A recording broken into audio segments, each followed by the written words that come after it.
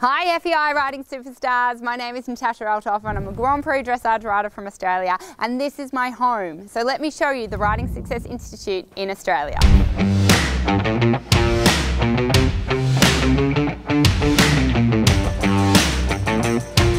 So excited to be bringing you a series of videos to help you in your riding and help you get to the next level, whatever that looks like for you in your dressage. Before we get into the riding videos, I wanted to record a quick introductory video so you can get a sense of who I am, what I'm about and what my story is.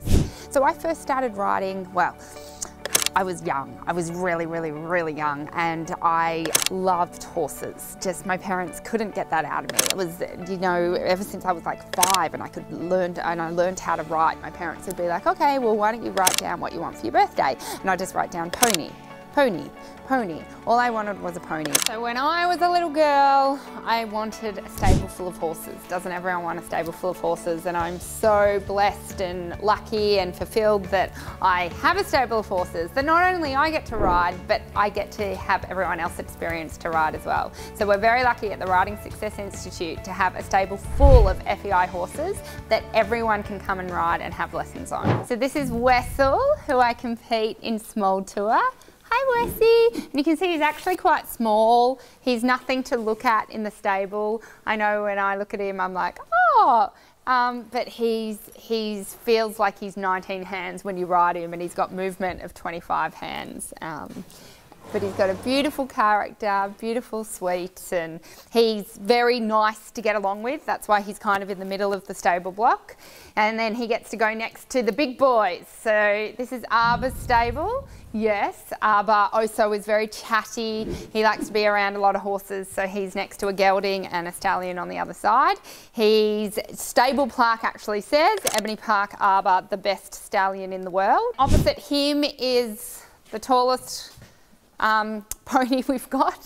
so yeah, we've got the big ones and the little ones. This is Minnie, very appropriately named, and he does lessons. He's um, trained to small tour, and um, he does lessons, and he's very, very, very cute. Very cute. But my kids do lessons on Arba, not on Minnie. Go figure. And now we've got two more beautiful Friesian heads looking at me. Now, I don't know how you guys are. For me, I can instantly look at my three stallions and know who's who. Ollie is the prettiest one, I think. Yes, I do think you're the prettiest one. He's just got the smallest, prettiest head.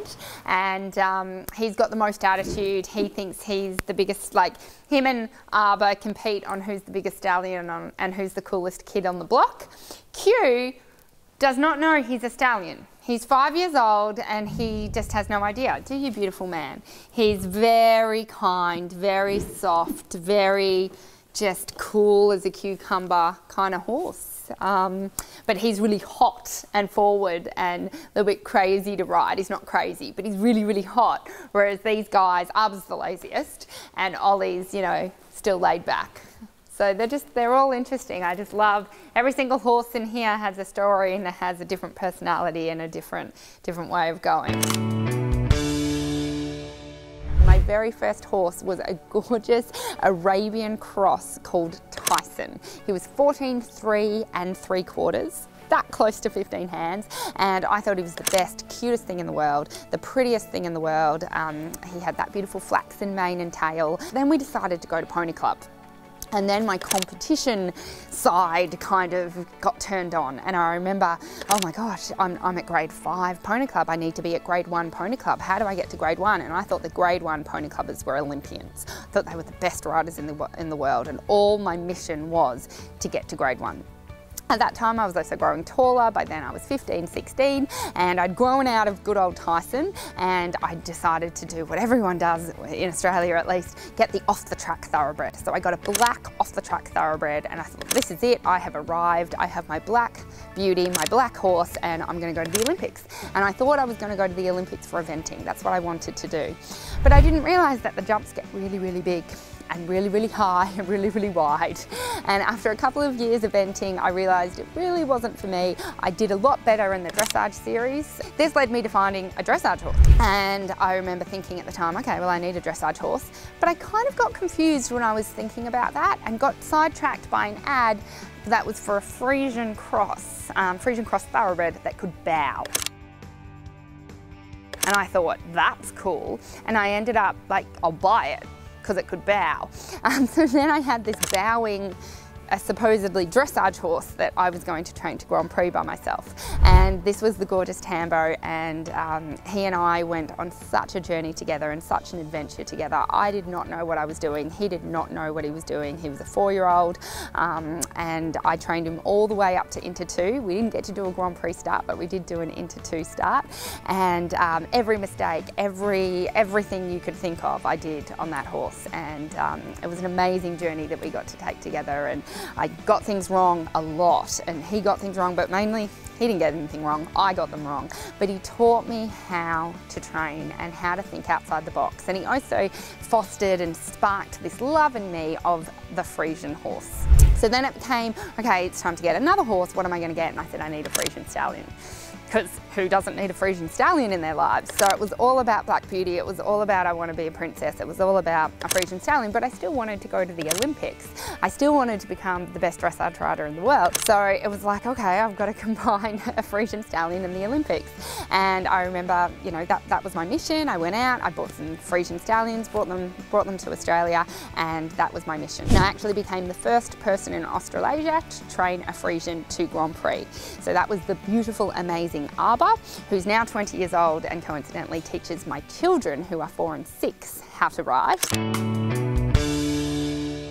Now fast forward to where we are today. So we're in this gorgeous institute, the Riding Success Institute, which has been in my brain since I was about nine years old, but didn't come to fruition until I was 36 years old. When I was younger, I wanted the dream tack room. I don't know if you were like me, but I had my horse kept at an agistment and the tack room was the car. I had to take my saddle out of the back seat of the car every day and put it in the garage, and then when I wanted to ride, put it back in the car and take it to the car. Our feed room was the car boot. Like we had it in the garage and then I'd take the prepared feeds into the car. So I didn't even have my horse on my property. And all I wanted was the tack room that they talked about in the books and they talked about in the movies. So let's go in and see. So I wanted it really, really easy and really, really clean. So every horse, it was clear what was everything was for each horse. Every horse has a name tag, their saddle, their bridle, their boots and bandages, their saddle blankets, and their, their extra rugs. They also have a rug box outside their stable block,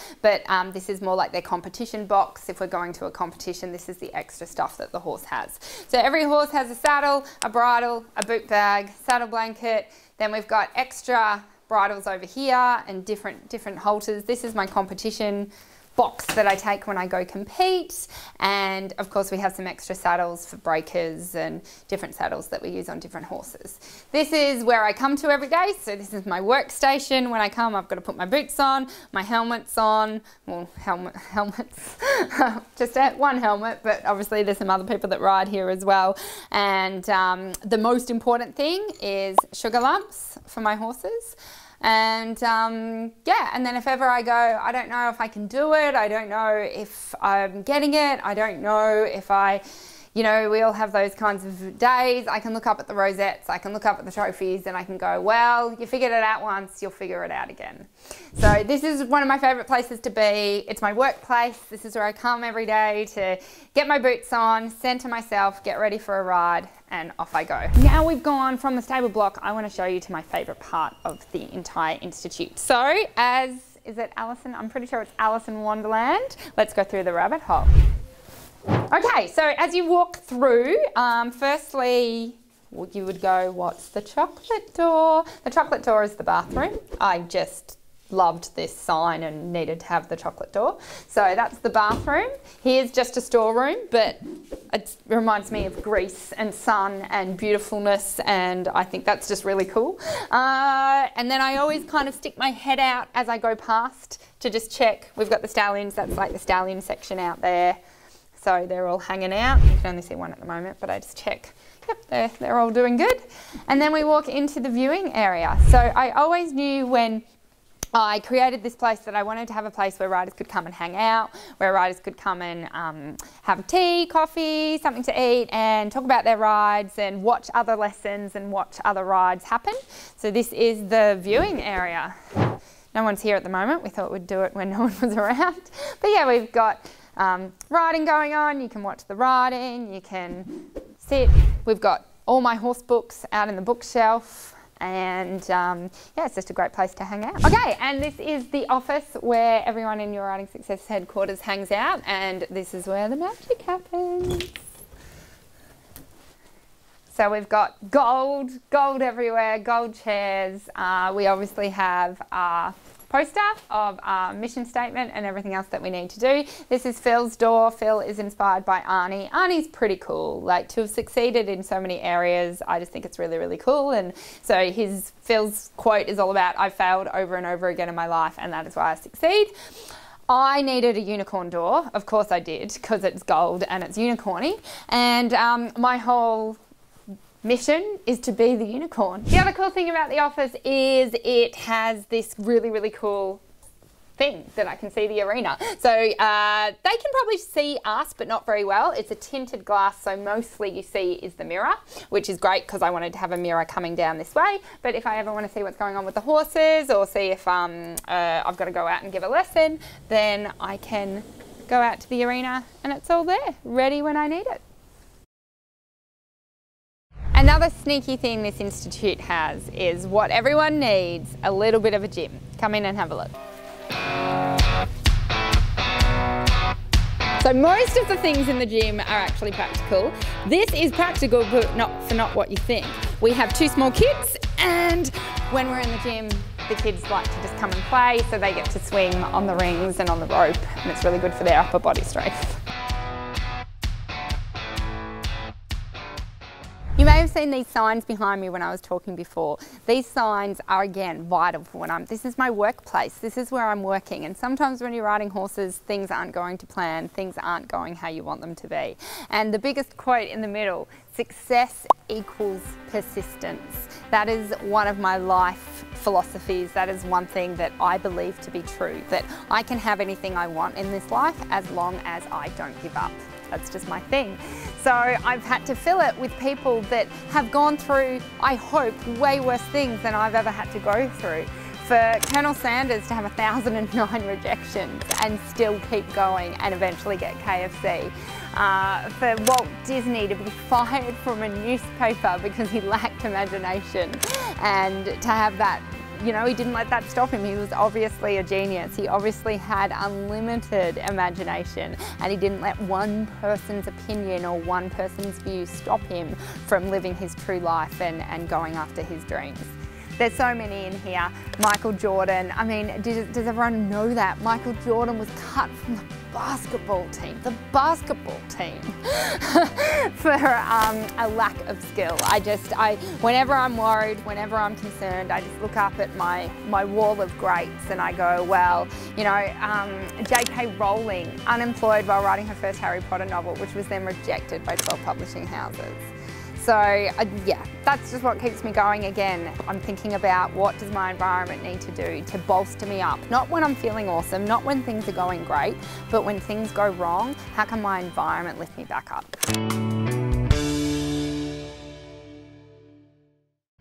I, I'm fascinated by horse riders because I feel that we're all attracted to horse riding for a lot of the same reasons. We love horses. We love them for different reasons. For me, I love horses because they give me freedom. They give me a way to express myself that I couldn't express in you know, by myself. They become my legs, they become my my movement. They become, you know, and I can get a lot further, I can get a lot faster, I can get a lot prettier when I'm on a horse than when I'm by myself. And this horse allows me to have the world fall away and the, the world disappear and it, it just becomes one between you and the horse. So that's what I'm obsessed about and that's what I'm obsessed about helping other people achieve. I know there's a lot of people that can be threatened by um, and affected by fear or anxiety or nerves in their riding. And I want to help people because that's all created in the mind. It is not just, whoops, I caught I caught something. Like it's not like catching a cold. You don't catch nerves. Nerves are created by you. Anxiety is created by you. Um, fear is created by you. And I know that can seem confronting when I say that, but that's also a good thing because if it's created by you, it can be uncreated by you. And it can be stopped and it can be changed and it can be modified and it can be used to um, create a new response. So that's what I'm obsessed about. That's what I get out of bed for every single day to help riders break free from whatever's holding them back so they can take their riding to the next level and experience more fun, love, joy, passion, excitement in their riding every single day. And that's what I do. That's what we do here at the Institute. We have FEI horses where people can come and have lessons on so they can experience what a PR feels like, so they can experience um, what a horse really through and connected feels like. Um, we want to give these opportunities to these riders. We want you to feel fun, love, joy and excitement in every moment in your riding. And that's what everything here is all about. So very excited to share my story in a little way and very excited to be recording riding videos for the FEI to help you in your riding and to help you get a little bit of insight into take how you could take your riding to the next level. So I trust you enjoyed this video and make sure to hit the subscribe button so you'll never miss any FEI episode of any video and I look forward to releasing a new video soon uh, about how I can help you take your riding and your dressage to the next level.